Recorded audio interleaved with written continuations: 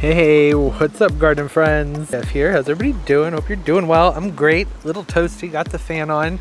I've been out here just making a gigantic, huge, disgusting mess. I figured why not just pick up the camera and film a video. No, I'm in the process of cleaning out my fountain and then I was about to put it back together and I realized that I've been asked over and over and over again to do a video about these little quick and easy DIY fountains and I've never done it. I've done fountain projects and vlogs are like an hour long, but I thought it'd be good to just go over what's going on here. So when people have questions, I don't have to dig through an hour long vlog to find it. And so I don't have to do that to recommend it to people or show them what to watch. So here's what I've been working on. I'm going to try and step over this without tripping or castrating myself. The way that I've done up this fountain over here is what's been convenient for me and not necessarily the best way to do things. I'm a fish keeper. I've had fish my entire life. At one point I had like 40 fish tanks.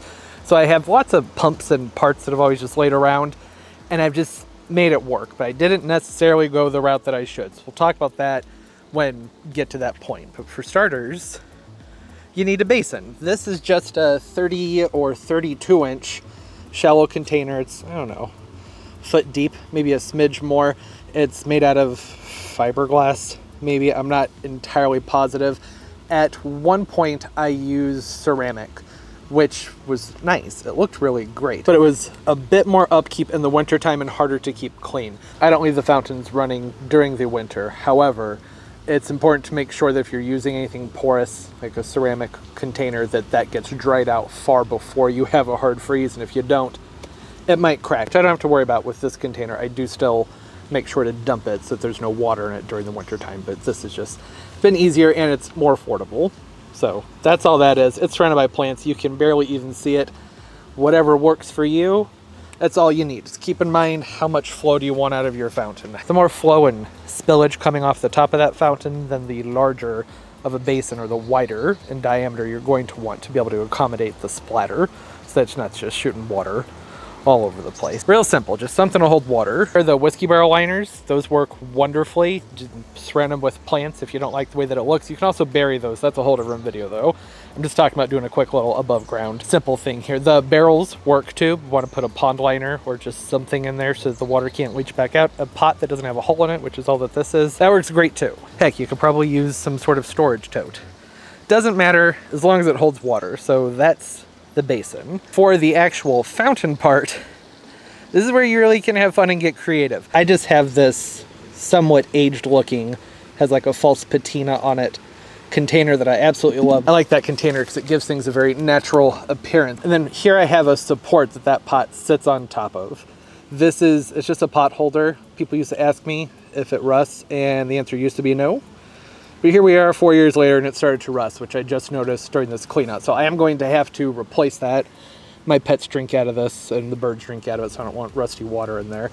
But just something to hold the pot at whatever level you want to. Cinder blocks work really, really well. You can use just upside down pots. Those will work fine. Just have to keep in mind that you need to be able to accommodate something with a hole in the bottom. And that's because, where it go? Because you have to run a tube from your pump. My pump's already in there up underneath this into the bottom of the container. There's my container. Get that straightened out looking nice. There we go. There's a hole in the bottom of this pot. I just feed my hose right through the bottom. Can we see that? Yeah, you can kind of see it. I have a plastic bag in here and that's because the hole that's in this is slightly larger than the hole that I drilled in there. This is just a really cheap, sloppy way to help hold it in place. I figure we have lots of plastic bags laying around why not just use that? It works fine. But you can get grommets, those will work, or some of that great stuff foam you can spray around the tube. That'll work also. I just like something where I can pull it in and out more easily and quickly. And now that I have the hose positioned in there, I just take the other end and insert that into my pump, which I already have running. It says cleaning this out and letting the pump catch the gunk and leftover debris so I can scoop that out. Get that attached, set it down there on the bottom, Sometimes it'll take a moment to prime itself. There we go. And there it is, a fountain. I usually have to go through and re-level them and work it some more. This is all I want out of my fountain, just a gentle wash of water that goes down the sides. That's all it takes to keep me happy. Love the sound, like the way it looks over that pot. looks good. That's simple and easy. Basin, pot, some sort of support, a pump and a tube.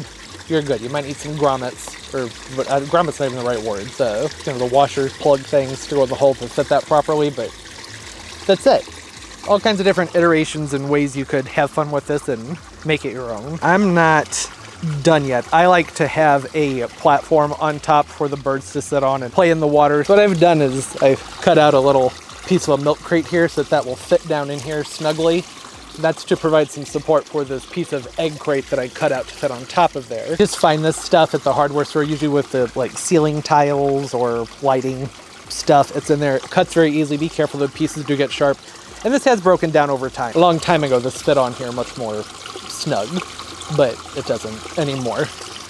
Which is why I added that support underneath it. The reason I want that in here is to support all of these rocks. Create a nice layer of gravel there for the, oops, dropped one. The rest of those in there. I like to make sure that there's some that are up and out of the water. That way there's a dry spot for the critters to sit. Or sometimes I'll put a potted plant up there just because I like the way it looks, having a little plant sitting up there. The advantage to having that egg crate in there with the other crate underneath it, so if there's just a small layer of gravel, doing that makes it so much easier to keep this thing clean. When I need to do any maintenance on this fountain, all I have to do is just come over here with a bucket, I pull that gravel out, put it in the bucket. That way all the loose debris can come out, go back down to the basin, and then for the, cleaning the basin, I just use a fishnet and I go through and I scoop the stuff out like maybe once a week. Then about every other month I'll tilt it and scrub it. That's really all there is to it. It's not much work. I made this just with scrap stuff I had laying around, which is why the pump that I have down there, it's pretty strong for this fountain, but I had it. I didn't want to spend money on a new one. It works. The hose that goes into that pump isn't even fitted properly. I have it going inside of the fitting instead of around it, which really shouldn't do. Like I said, it's been like three or four years and it hasn't been a problem, so, you know, if it ain't broke, don't fix it. It's fine. The water is still somewhat cloudy on there. That'll clear up over some time. That pump has a little grate on it. You can take that off and hose it off, and that's typically what I do after I do a cleaning like this. It's kind of gross, but as the grate that's around the pump, around the impeller, as that picks up larger debris, the water debris helps get the silt out. And then the next day after doing something like this, I'll just take the pump, pull it out real quick, rinse it out and put it back in and the water's clear. There are lots and lots of different pump kits available now on Amazon. They even they have them at the hardware stores usually too, where you'll get your pump and your tubing and all different types of fittings that you'll need to do something like this. Those will work wonderfully for something like this. This pump specifically that I have in there, I believe is made for up to 900 gallons an hour, I believe, which is total overkill for something like this. Like I said, that's just what I had laying around and the spillage and everything stays contained. So it's been working out okay. I like the amount of flow that I get out of that pump. And I can reduce the flow on it, which I might do. I opened the valve up on the pump all the way to help clear things out, but there's a tiny bit more splatter than normal, so I might go ahead and crank it back down. Usually I like to keep my pumps open all the way to help extend the life of the impellers and the motors. That the flow really is something you just have to play around with and see what you like and what's gonna work for you. But maybe do a better job hiding your cord. There we go. yeah, that's a lot better. I had the cord running around the back and I had to move a bunch of electrical stuff around. It doesn't matter. That's it. That's all there is to it. Like I said, tons of different ways that you could do this and have fun with it. Comment down below. What are some tips, tricks, and suggestions you have? Different ways you make your fountains and have fun little areas for the birds or just to have that relaxing sound in the background when you're outside. I have to have the sound of water when I'm hanging out my backyard it's just something that helps round out the whole experience of being surrounded by the plants and the nature and then having the sound of that water. It really helps tranquilify the whole experience. Is that a word, tranquilify? I don't know, we'll go with it. Something you can do if you really want to get creative and have fun with this. I have a great big box full of, well, they look like giant ice chunks that I was going to put in place of those stones with a light underneath it how beautiful would that have been? Having a light in there shining up through those, what look like big pieces of ice. Would have been beautiful. Having a fountain lit up is always extra special in the evening time.